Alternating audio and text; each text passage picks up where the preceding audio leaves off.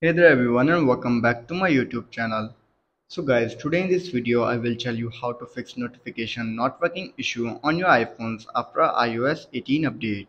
So guys, as you all know, iOS 18 is finally released, but many of you are complaining about after updating to it, you're facing an issue of notifications, that your notifications are not working properly and you don't know how to fix this issue.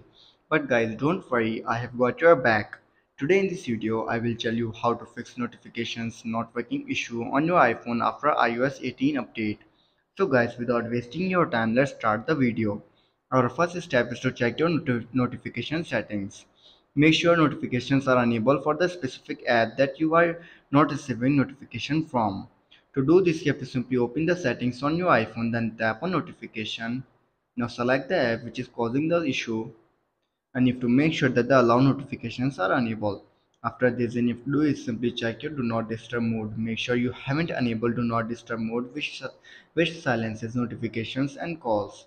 You can check this by going to the control center. From here, you can simply disable it again. After trying these two steps, when you do is simply restart your iPhone. Sometimes a simple restart can often resolve not notification issues. To restart your iPhone, you have to open the settings then tap on general scroll down and then tap on shutdown shut down your iphone and then restart it after 15 to 20 seconds later. After restarting your iphone then you have to do is simply check your background app refresh. Ensure that background app refresh is enabled for on your iphone. You have to go to the background app refresh again tap on it and you have to make sure that the wi-fi and cellular data is enabled after trying all of these steps and you're still facing the issue and your notifications are still not working, then I will suggest you to do is set your all settings.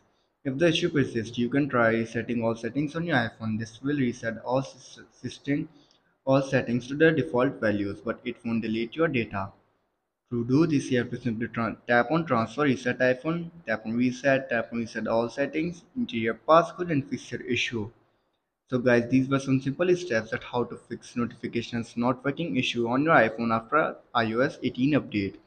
If this video helps you then make sure to like and subscribe my YouTube channel for upcoming videos and thanks for watching.